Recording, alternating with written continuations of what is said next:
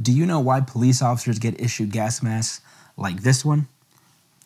And this one? Well, the answer is pretty easy. As you guys know, there's a lot of protests and riots that happen around the country and especially around the globe, especially now with conflicts like Ukraine and Russia, and now the Israel Gaza conflict. Sometimes these protests and riots can turn pretty deadly for those involved and for law enforcement. Riots can include chemical agents and airborne chemicals. Parcil Safety made these gas masks so that you guys can keep safe in any situation or scenario. Use my discount code JohnnyQ for 25% off these masks and more on their website. So if you're like me and you want to keep yourself safe and ready, get yourself a gas mask today by Parcil Safety.